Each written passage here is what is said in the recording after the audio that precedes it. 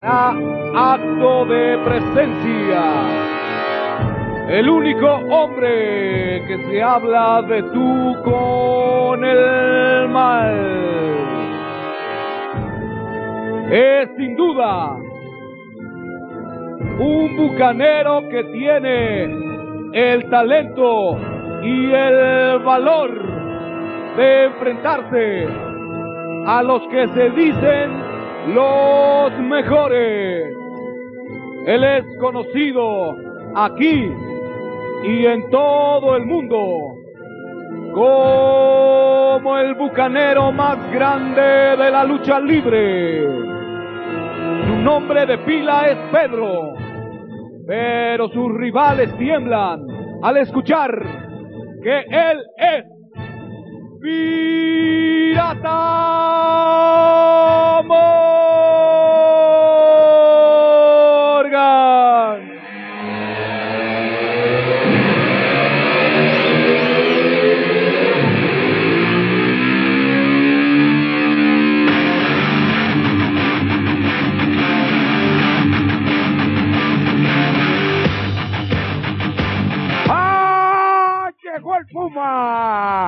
ya hizo su aparición el rey de Monclova. Castigo, castigo, castigo. Contrólate, Jerry, por favor. Contrólate, Jerry. Este es el puma más grande del planeta. Puma Jerry Estrada.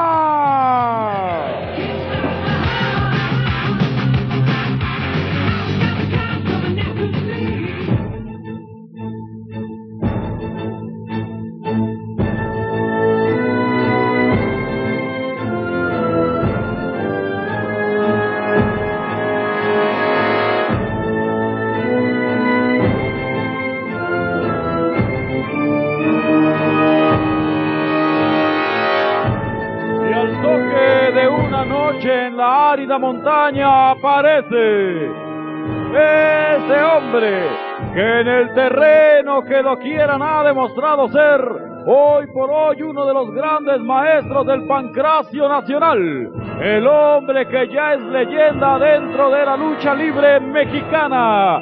Llega para todos ustedes, señoras y señores, Daniel el Travieso. El.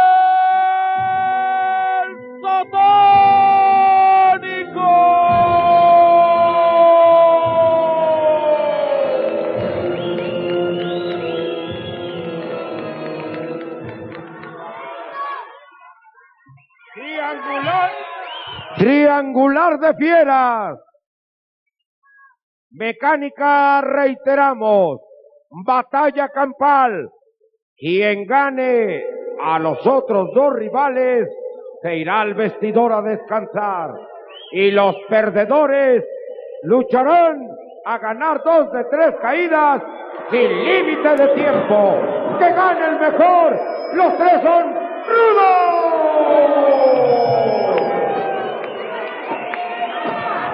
Y bien, señoras y señores, lo que habíamos dicho al iniciar este programa de Triple A, Pirata Morgan, el mejor luchador del mundo, la llevaba de perder ya que traía rencillas ya marcadas con Jerry Estrada primero, después el divorcio, después de tantos años de hacer pareja y tríos con este que es Daniel López el Satánico, se divorciaron, salieron de pleito y ve ahora se tiene que enfrentar a dos rivales enormes, como son el Puma Jerry Estrada y este Daniel López el Satánico. Pedro Pirata Morgan sufriendo las consecuencias de ser tan broncudo. Si a mí me preguntaran a quién marcaría favorito, yo tengo el mío, pero ¿quién es el de Jesús como para irse a descansar?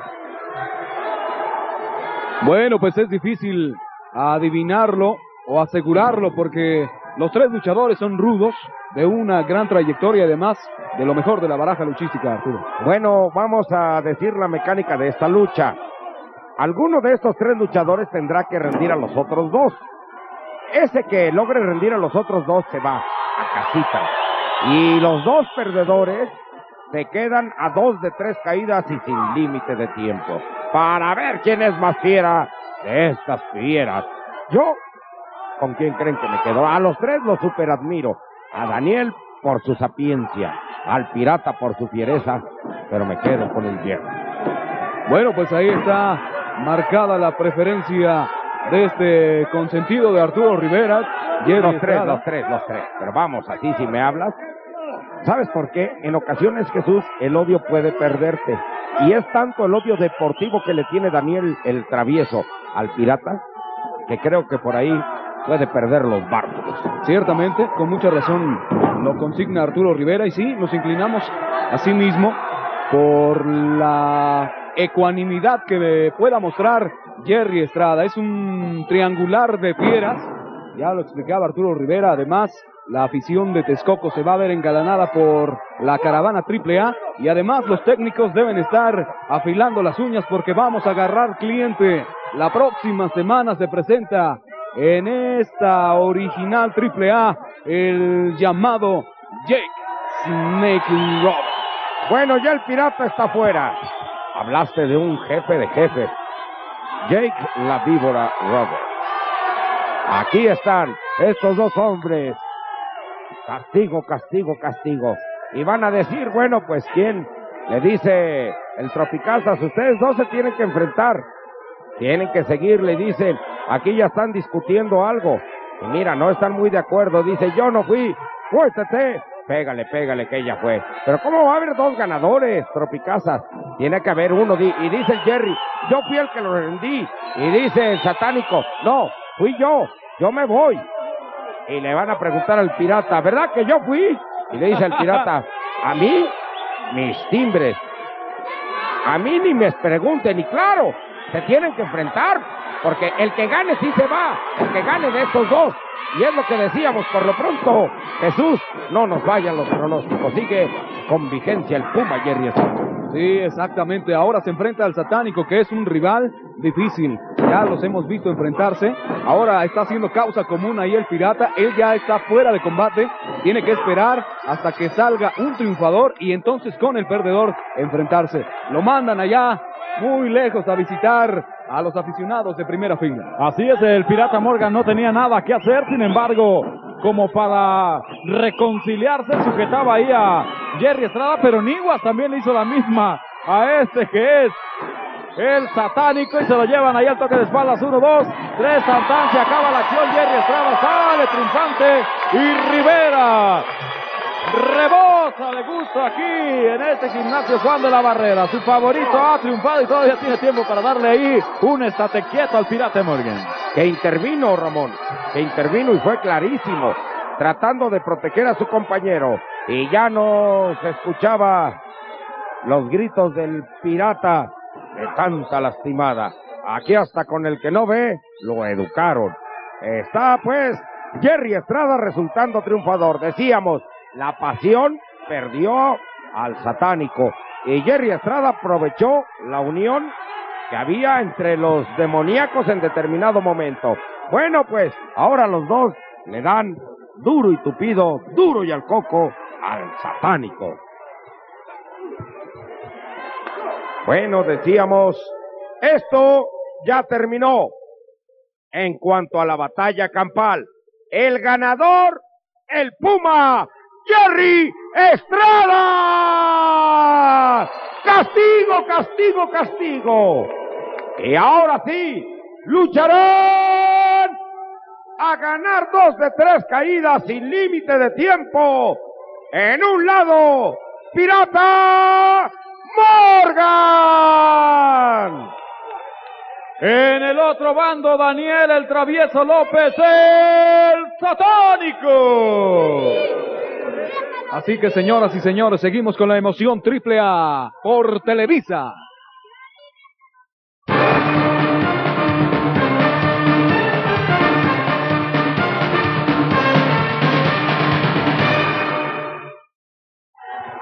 Y bien, ya vemos ahí a Daniel López el Satánico. Y la verdad es de que estos auténticamente están todos contra todos.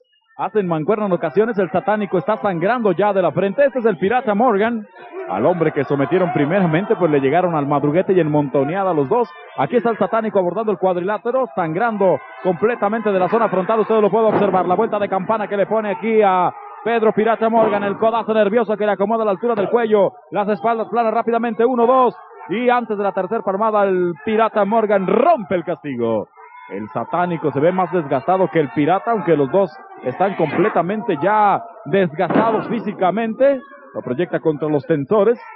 Y ve usted el rostro patético de este satánico. Le pone ahora sí las espaldas planas. Vuelve a romper ahí el pirata Morgan. Un crotch acomoda perfectamente aquí el satánico, va a las alturas, el público le dice que no. El pirata Morgan se está incorporando, descontón que le pone ahí donde lo mantiene y se lo lleva a esta especie de suplex. Vea usted de qué manera lo proyecta. Ahora va a las alturas el pirata Morgan. Espera que se incorpore. Se pone de pie el codazo volador en cascada desde la segunda cuerda contra la humanidad del satánico. Aquí lo mantiene. Ahí está haciendo presión al cuello. Le pido opinión a Arturo Rivera. Que qué hace, dice el pirata Morgan. ¿Qué hace? Dice. Le doy con todo o lo perdono. Bueno, pues aquí está el pirata Morgan clavando ese colmillo para seguir hiriendo de fea manera a este Daniel López. Recordamos aquel Dientes Hernández que destrozaba precisamente con las sencillas a sus rivales. Desde luego que como apuntaba Rudón Castigo, está verdaderamente disminuido el satánico, pero confiamos en el pundonor que tiene como luchador el satánico. En cualquier momento puede responder. Este luchador está acostumbrado a las luchas sangrientas. Ese que fuera antaño su gran compañero, hermano del alma, lo está castigando y lo está haciendo sufrir, quedando en mal con todo este público de la AAA propinándole impactos ahí a la cabeza, Arturo. Como hubiera dicho el maestro Agustín Lara, hermanito del alma. Eso quedó en el recuerdo. Mire nada más qué manera de tratarse, con qué fiereza está Daniel López tratando de responder. Ya se rindió, ya se rindió. Y si sigue en esa acre actitud del pirata, lo pueden descalificar. Ya se rindió el satánico. Eso ya está visto. Ya Pedro el Pirata ganó la primera caída. No, lo descalifican. Claro, eso se veía venir. Lo dicho, dicho. Ya leteaba cual vil angelito, dijo. Dijo Pepe Casas, aleteaba como pajarillo. Y para nada. Ahí está. Por exceso de violencia, el pirata Morgan está perdiendo la primera caída bueno, pues los rencores y odios salieron a relucir de fea forma, porque aquí solo así se concibe eso. Vamos a la repetición. Mire, ya dijo, el satánico había dicho ya. Casas decía ya. Pepe Casas ya. Estaba harto. Ya, no quiero nada y lo descalificó Televisa con la excelencia triple A.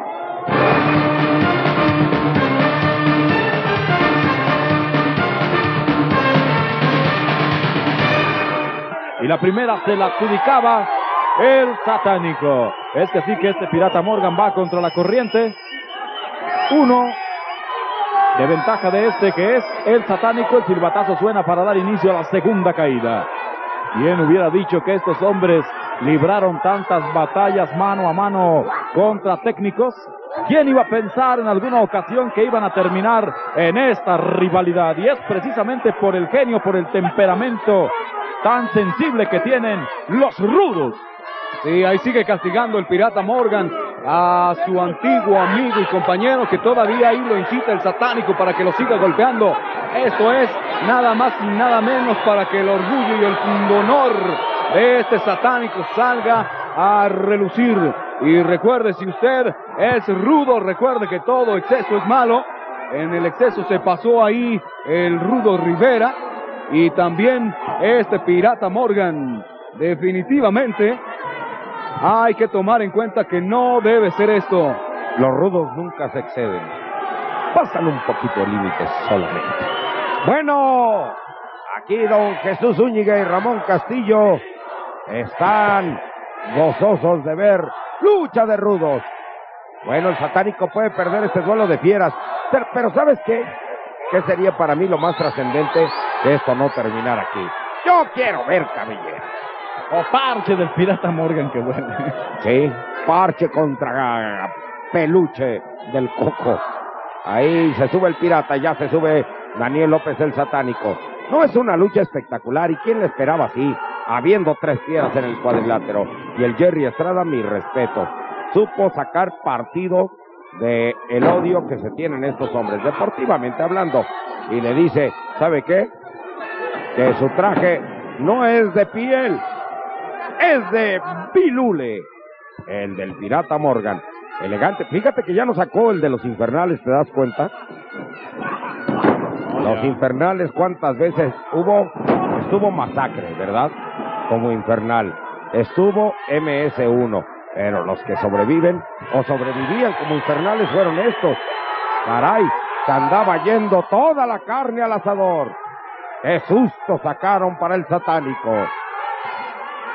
Iba a estar ahí la cosa candente, pero le muerde la mano ese pirata y le sacan el parche del ojo. Y le dice, ahora sí que ojo por ojo, pues ya nada más le queda uno. Con eso que tiene ojos tapatíos, ojos tropicales. ¿Por qué tropicales? Uno le ve para Acapulco y otro para Veracruz. Bien, pues la verdad es de que aquí el satánico parece que se recuperó. Pero ya la verdad es de que están desvanecidos ambos gladiadores. Patada que acomoda todavía ahí el pirata Morgan contra el satánico. Proyecta contra las cuerdas. Lo mantiene aquí en esta altura. Crush que le acomoda. Vaya proyección que le pusieron al satánico. Lo entreteje. Clava la pierna manera de estaca. Lo voltea en esta especie de variante de cangrejo. Y aquí lo mantiene. Este sí es un cangrejo con cruceta. El satánico poniendo los brazos ahí, manteniendo todo el peso del cuerpo, buscando las cuerdas, lo logra. Tiene que romper aquí el pirata Morgan, ya que hay cuerdas de por medio y el conteo no se deja esperar por parte de este Pepe Tropicazas. Pues vaya lucha que estamos observando. Este es el rostro del satánico. Se lo quiere llevar aquí con la de a caballo.